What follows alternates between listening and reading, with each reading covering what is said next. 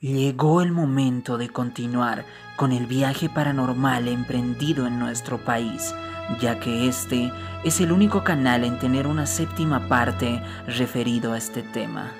Como en cada entrega, veremos los videos y casos más escalofriantes.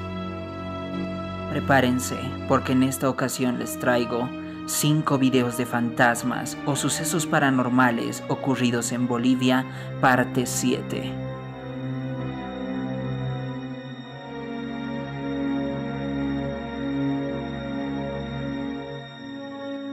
Este fenómeno ocurrió hace años atrás en el canal de televisión PAT mientras se transmitía el noticiero.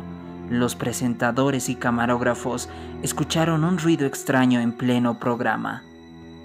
Sin embargo, como estaban en vivo, no se dieron tiempo a revisar en ese momento, pero una de las cámaras de seguridad del lugar pudo captar cómo la tapa de uno de los botes de basura salió volando con mucha fuerza.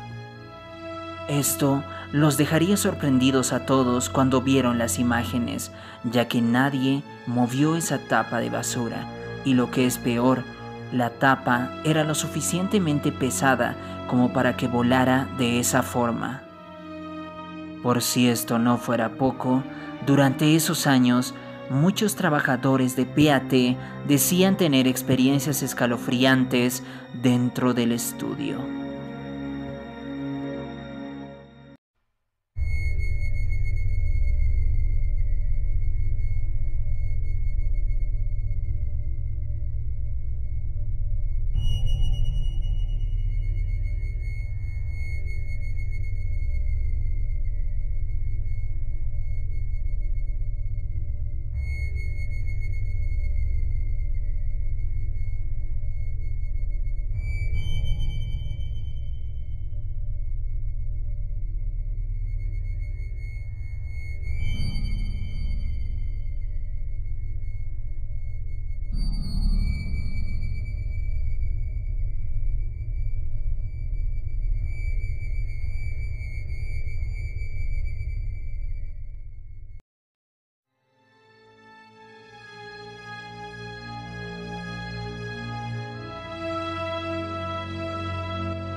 Este video fue grabado por un guardia de seguridad en la terminal de buses de Tarija. Al parecer, logró grabar el supuesto alarido de una llorona que parecía acercarse cada vez más al guardia. Aquí el video. No, es por alarmarlos, pero no sé, aquí saben que yo estoy solito, ¿no ve? Yo estoy aquí entrando, no sé, mira lo que se escucha. No es chiste. Por aquí no es chiste.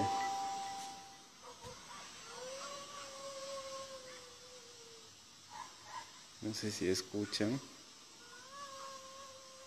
¿Dónde será? Pero... A ver, boludo.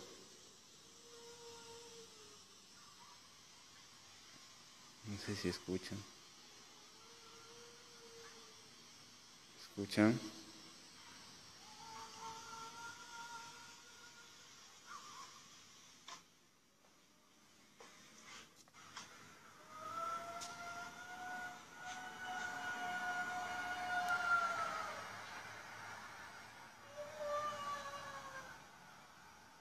¿Escuchan? Ah, todavía me hubiera afuera, boludo. Ya, me da miedo aquí, hija de puta. Era boludo, ponerse boludo.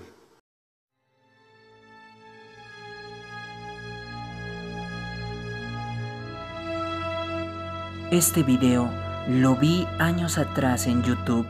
La descripción decía que era un duende captado en Bolivia, cerca del patio de una casa de alguien que vivía en Purapura. Justamente me volví a topar con esta grabación revisando mis carpetas de videos paranormales. Al buscar más información referida a este caso, no pude encontrar nada. Incluso me di cuenta que el video había sido eliminado de YouTube. La persona que grabó el video vio algo pequeño que se movía de un lado a otro, así que tomó su cámara y le hizo zoom al pequeño ser de ahí la bajísima calidad del video. El ser se encontraba jugando o bailando. Lo más espeluznante del video es que en cierto punto el duende nota que lo están grabando, pero en lugar de echar a correr, se acerca juguetonamente hacia la persona que lo graba.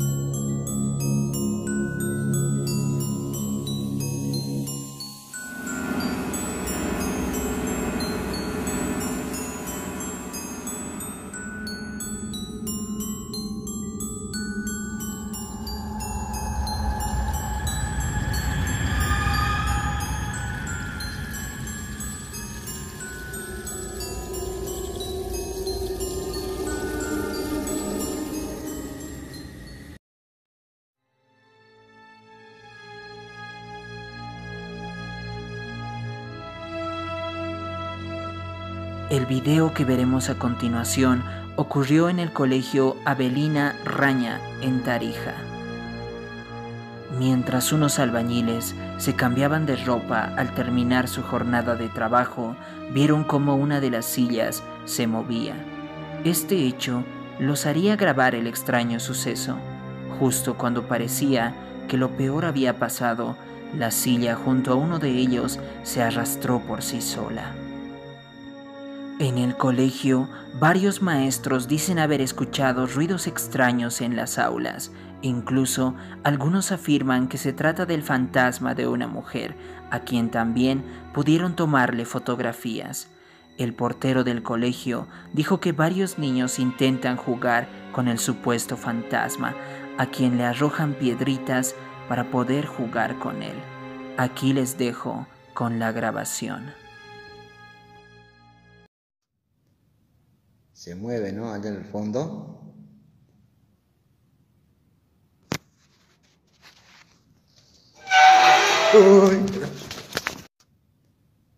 Se mueve, ¿no? Allá en el fondo.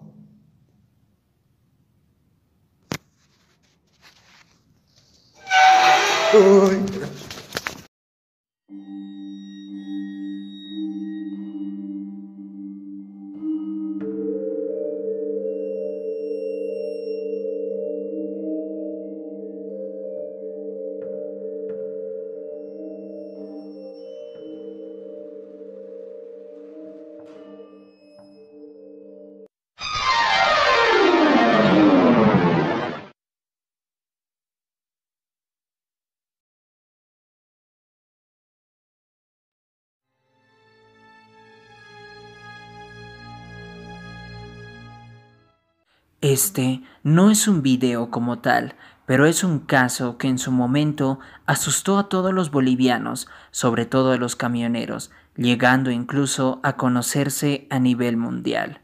La historia es la siguiente. En mayo de 2019, un camionero se encontraba cruzando la frontera de Bolivia-Chile, en la región de Arica, cerca del lago Chungara en ese momento, su camión comenzó a tener algunas fallas, dejándolo varado a mitad de la carretera. Es así que se estacionó a un lado de la misma para poder descansar. Mientras descansaba en la cabina de su camión, escuchó ruidos extraños afuera a las 2.15 de la madrugada. Los ruidos eran similares al de un animal, pequeños chirridos que le llamaron mucho la atención y al parecer se encontraban cerca de su camión. Uno de los chirridos se escuchó frente a su ventana. Al verlo en la oscuridad, solo podía notar unos ojos enormes que lo observaban. Pensó que tal vez era una persona que se encontraba perdida. El Señor le preguntó quién eres repetidas veces, pero el ser no respondía, solo se detenía a mirarlo en silencio.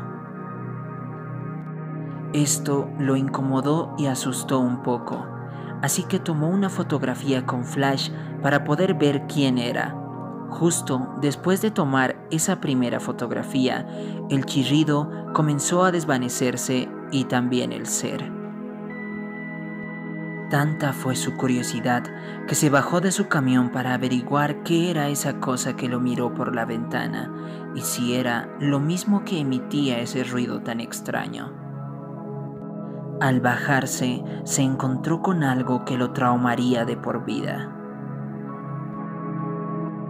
Vio como dos siluetas cabezonas se movían entre la oscuridad.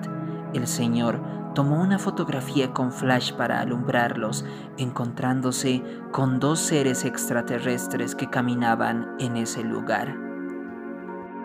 Al darse cuenta de esto, el señor quedó sumamente asustado, desmayándose por el shock. Fue auxiliado por otro camionero que pasaba por ese lugar y llevado de emergencia al hospital Juan Noé. Sus familiares fueron a verlo a Chile y cuentan que al momento de encontrarse con él no recordaba su nombre ni a sus familiares. Era como si hubiera sufrido una amnesia severa. Al momento de llegar a Bolivia y recordar todo lo acontecido, le contó lo sucedido a su esposa, pero después enfermó gravemente. El impacto que tuvo esta noticia fue enorme. Por un lado, las autoridades chilenas ordenaron el cierre de la frontera Bolivia-Chile a partir de las 7 pm, es decir, que ya no se podría transitar por ese lugar en la noche. Varios camioneros fueron afectados por esta decisión, pero sobre todo quedaron asustados por la historia de su compañero, la cual se dio a conocer por todos. En los grupos de WhatsApp se puede escuchar a otros camioneros hablar al respecto. Se puede notar que no pueden creer lo que había pasado, pensando que son almas en pena o duendes. Buenas tardes, buenas tardes paisanos. Sí, lamentablemente apareció a un amigo, a un conductor que estaba plantado donde el Chungará, donde se quemó la cisterna, por ahí más o menos me indicaron, y pero les le pareció al cuate, pues, había bajado de su caja de herramienta, había querido subir a su cabina del costado, había sacado el cuate eso no me informaron, así nomás, coleguitas. Eh, compañeros, buenas noches. Sabe que, eh, compañeros, esto es de, de, anoche. Un camión se ha plantado en el lugar donde el compañero que se ha incendiado con, con gasolina llegando a Chungará. Entonces, eh, un compañero también carguero se había plantado ahí. Entonces dice que el compañero al plantarse en el mismo lugar donde se ha incendiado el compañero de Cory Johnson, dice que bajó de su camión y vio caminar dos personas entonces, de, susto, se subió a su cabina. En lo que sube a su cabina se asegura el caso, dice que ahí, ahí este, le, suben a ver, pues sí, sí, son fantasmas, pues son. Yo creo que son las armas, pues tal vez de los compañeros, del compañero caído en ahí. Y le han mirado de la ventana, dice, al compañero que se ha plantado al carguero. Entonces, él, él había sacado las fotos y le ha mandado a las representantes, a sus representantes, la señora Chuemila le ha mandado esas fotos. Ah, entonces después del susto en la mañana lo solucionaría y el mismo compañero baja con su caso a Arica, dice que donde se ha puesto muy mal y ahora está en el hospital, dice que está tal vez a punto de fallecer, dice, por el susto, por la impresión. Es por eso que estaba diciendo compañeros, que tal vez podríamos hacer una colecta entre nosotros y hacer pasar una mesa en el lugar para, para despachar tal vez el alma del compañero caído, era de Corey Johnson, no sé qué, cuál es su nombre, pero por eso, compañeros, estaba diciendo, para hacer pasar una mesita, porque normalmente siempre se hace en el lugar donde un siniestro se hace un despacho, pues compañeros de las almas, entonces. Para eso era, compañeros, eso es lo que está pasando, eso es de anoche, de anoche, compañeros. Buenas tardes, queridos amigos del volante. Desde las ocho, siete y media o siete no va a haber paso desde Chucuy hacia Bolivia, porque ese señor que lo ha asustado el en cerca donde artesanal los duendes no sé qué, qué ¿qué chuchas es? Por culpa de eso ya no va a haber paso en la noche, solo va a haber hasta las 7, hasta el día siguiente recién va a soltar, eso es lo que han comunicado, recién ha llegado ese comunicado. Se realizó una investigación en el lugar de los hechos para ver si el caso era real o no. Encontraron huellas de los supuestos seres extraterrestres en el lugar. Respecto a la veracidad, como siempre pasa en estos casos, hay gente que piensa que todo esto es un fotomontaje o una historia falsa y otros que realmente creen en la aparición de esos seres extraterrestres. Por los audios de los otros camioneros, el cierre espontáneo de la frontera Bolivia-Chile, las fotografías y la rápida viralización del caso en varios medios informativos y redes sociales. Se dijo incluso que la misma NASA vino a investigar el caso apenas se enteraron de él. También se llegó a pensar que las verdaderas fotografías del caso se las llevó la NASA y dejó otras para que la gente pensara que el caso era falso.